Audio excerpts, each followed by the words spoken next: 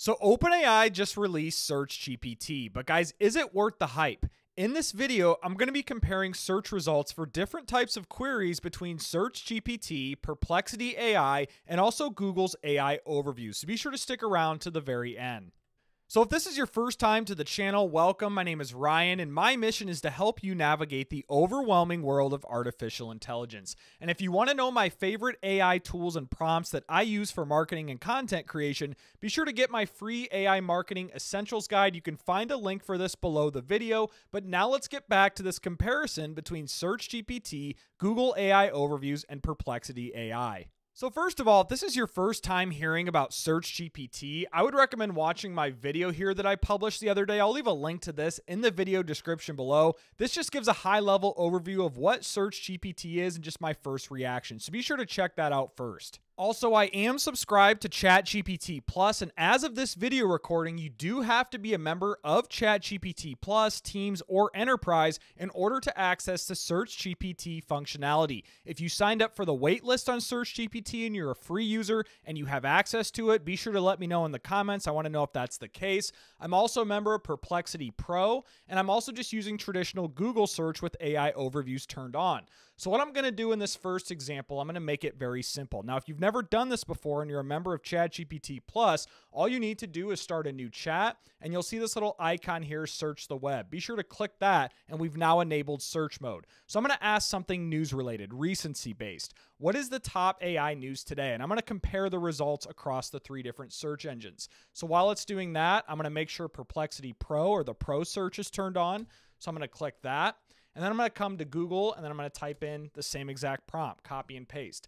So right away, let's start here since we're already on Google. You'll notice the AI overview. It says here are some recent AI news stories. Text to video technology, hybrid AI, uh, MIT College of Computing, and then it has some actual stories over here. Uh, so I'm not sure this is actually recent by any means. Other AI trends include. So I'm not sure if this is actually accurate or not. Now, if I click Google News, that'll give me some recent stuff as far as I'm aware. Yeah, 10 hours ago. Uh, even this isn't really recent. Three weeks ago, three days ago.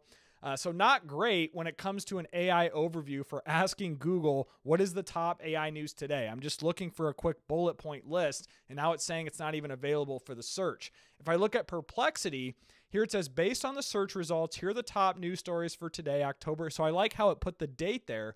OpenAI launches ChatGPT search, AI spending by tech giants. CH Robinson, uh, AI. I don't know if these are valid or not. I mean, that has the sources here, so I could double check this. Uh, yeah, October 31st, 2024. So it's pulling in sources on today's date. That is the AI news today that I asked for.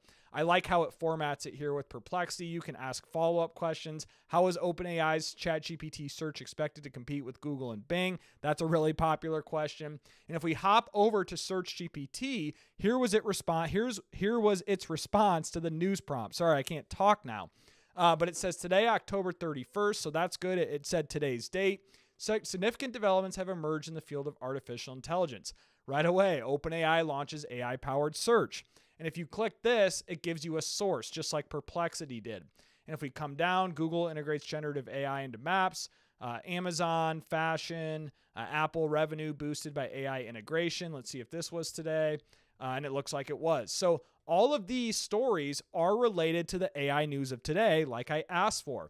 So ChatGPT or Search GPT, excuse me, and Perplexity definitely get the nod here. I'm honestly kind of shocked that an AI overview uh, didn't give me what I was looking for. Maybe there's something wrong with my account. I need to go on a private browser. I'm not really sure how this works, but definitely ChatGPT with Search GPT and Perplexity get the nod for recency and news related prompts as of this video. Now, I want to do another quick recency one, and this is more financial related, as there's a lot of financial queries about what is the price of this stock? What is the price of Bitcoin, right? Things of that nature. So, I'm going to ask this really quickly What is the price of Apple stock today? I'm going to do the same thing with Perplexity, and then I'm going to come over to Google and copy and paste the exact same thing.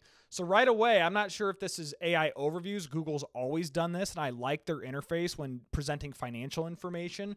Uh, very easy to read there. Perplexity also populates a chart here, so that's accurate. I like this. I mean, it looks very similar to what you get with Google. Has a little explanation. You can ask related questions. And then Search GPT. This is really cool now. It has its own integrated or in a chart integrated inside its search result, similar to Google and Perplexity. It has the five day, one month, six month, one year, five year, year to date. Uh, then it gives you a little snippet right here. It gives you a source. Uh, I could probably come in and ask it something like, Should I buy it? And I'm going to see if it's probably going to say I'm not an advisor. Uh, let's see here. Careful considerations, positive, negative outlook, conclusion, investing Apple stock. Let's see here. It's advisable to consult with a financial advisor. Yeah, I figured it would give me something like that. I was just trying to push it a little bit.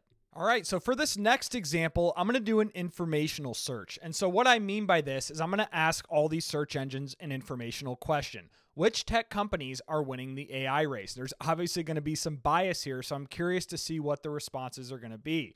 So, I'm going to copy and paste this, come back to Perplexity, paste it in Perplexity, come back to Google, paste it today. And then here it's generating an AI overview. Let's start here. Multiple companies are leading the AI race, including NVIDIA, Microsoft, Apple, Tesla, Amazon, Google Cloud, ASML. What's really interesting is they ranked their own product below all of these other big tech companies. So I find that to be really interesting. Other companies, so here's some other ones. Uh, and then it has some sources here on the right. Uh, I'm not really sure yet. That's from last year, last year. So these aren't really relevant or recent, in my opinion. Um, so if this is just a quick rundown, this is accurate by any means. By no means is this not accurate. I'm shocked OpenAI is not on this list. Uh, so if we come to Perplexity, based on the results, leading AI companies, yeah, Microsoft, OpenAI, Google, NVIDIA, Amazon Web Services, and then it lists Anthropic. I like to see that. IBM, Meta, I like to see Meta. They're definitely a leader. Um, and then it gives you key factors. You can ask it other questions. I like this response. This is definitely a good response. Uh, this one too, right here. So it says which tech companies are winning Microsoft, Google Alphabet, NVIDIA, Meta, formerly Facebook. And then this is interesting too. It ranks its own company, OpenAI, towards the bottom of this list. Then it has all these sources. And if I click this, it'll pop over to the right here. So gives you all these different sources that you could click into and learn more about this. But really interesting to see that. I'm not, I mean, all of these are fine. They're definitely quick responses and they're accurate. They're not inaccurate by any means. Uh, just really interesting to see the different layouts for each one. I think all of those answered the question sufficiently, in my opinion.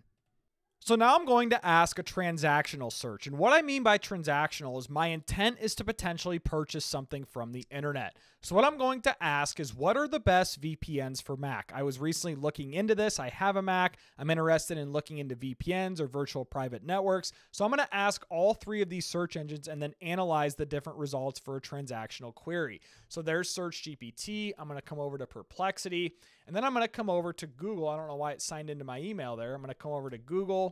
And then here, what's interesting is there's no AI overview prompted for this transactional search. But instead, oh, there is right here. You had to scroll down. So instead, we had three ads. And that's a really important call out is that on Google, obviously, search ads make up a majority of its revenue for Alphabet. So three different ads here. Not surprised to see that. But if you come to Perplexity, this is one of the selling points of using something like Perplexity or even Search GPT right now. There are no search ads. Now, I saw Perplexity is going to add that eventually at some point. I'm really curious to see what OpenAI is going to do when it comes to search ads within Search GPT. But as of this video, you'll see three big big ads right here. And if you're on mobile, this is above the fold. So you have to scroll down to even get to an organic result. And then we have the AI overview. Some of the best VPNs for Mac include NordVPN, Surfshark Express. Those are all quality VPNs, and they have some sources here Surfshark, Nord. Uh, what's really interesting is that they have a, a YouTube video that's not even live anymore. It looks like it got shut down. So, yeah, video unavailable. I'm not sure why they're showing that in the AI overview. That's a really good question. Um, but if we come back to Perplexity, again, no ads. That's really good to see. Uh, similar sources, it has even more sources than what Google showed in that AI overview. Now, obviously, if you scroll past the AI overview, then we'll start to see more results here. But right here is the sources on Perplexity. Uh, based on the results, here are the recommended VPN. So then it lists Nord. But I, what I like about this is it lists different bullet points under each one for why it's the best VPN for Mac. Where in Google, it just listed it, right? There was one little sentence of an explanation, an overall top VPN, a VPN with a good interface. Here, there's a little more details behind this. It lists the top five, gives some other VPNs. You can ask related questions if you want. If we come over to Search GPT, I really like this interface actually. You can come over here and click sources. If I scroll down, you can click sources on the right.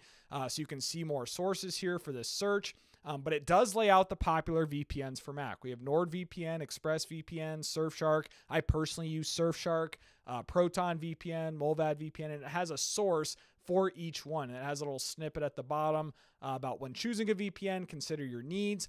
And again, you can look at the citations here on the right for more details. So honestly, guys, I like this here in Search GPT. I like this search results. It looks clean. It's easy to navigate. It's easy to look at more sources, more unbiased sources, in my opinion. There's no ads. Uh, versus Perplexity, which is fine. I think it got the job done for that query. Very disappointed in what I got here uh, from Google AI Overviews. Three ads on top, a broken YouTube video, and a measly description of each one of if I'm actually looking for a VPN for my Mac. So Google lost this one. I would say Search GPT definitely won this transactional search. Perplexity's answer was just fine, um, but that's the transactional search that I just wanted to show you. Again, you could search anything transactional. Your results might be different. That's just one example that I wanted to show you. All right, so in this last example, I'm going to do a search that has local intent. So, local intent meaning coffee shop near me, tire shop near me, uh, best restaurants in Des Moines, Iowa, right? Any search like that that has some sort of local intent. I want to see what Search GPT can do compared to Google and also Perplexity. So in this example, I'm going to do something like best coffee shops near me.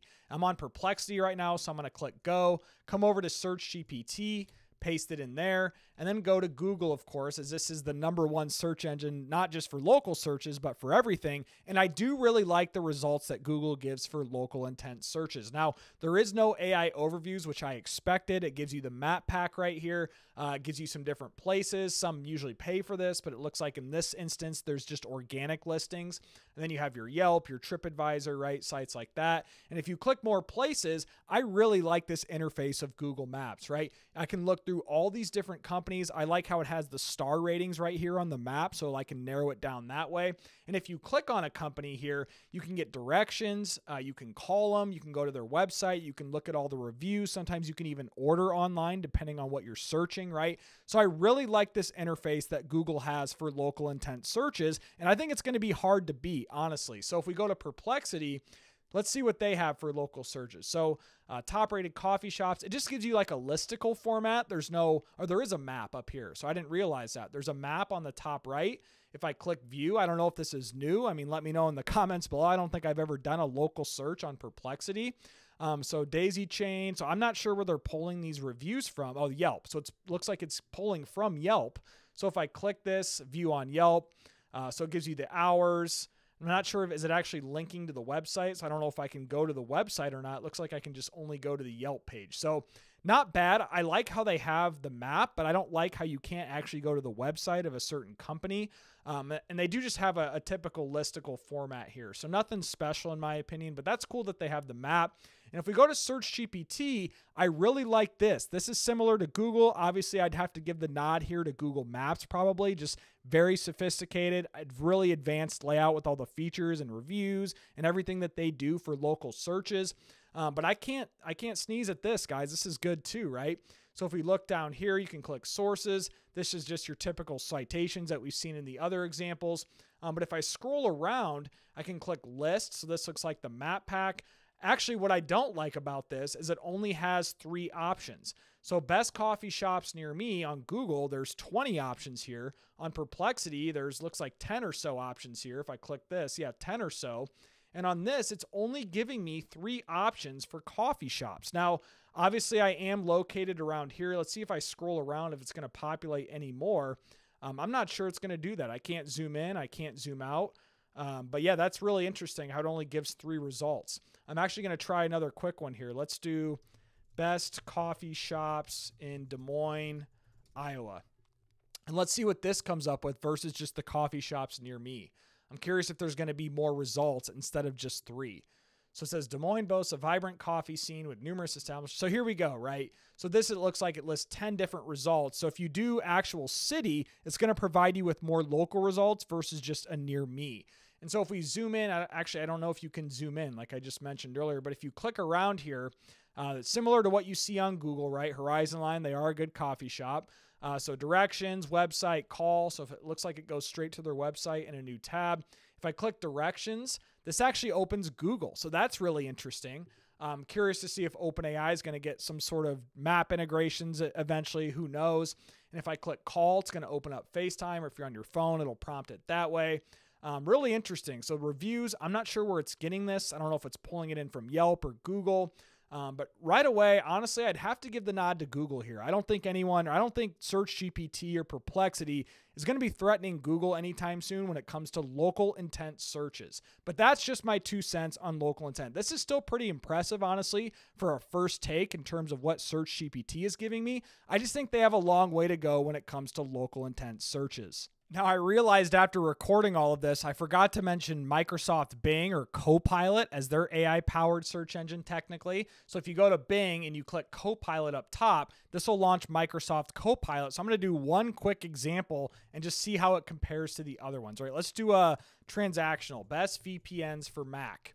And I'm going to see what Copilot comes up with. So, it says, uh, looks like a listicle format. It links off to the source, has the sources down here. So, again, nothing really great in my opinion.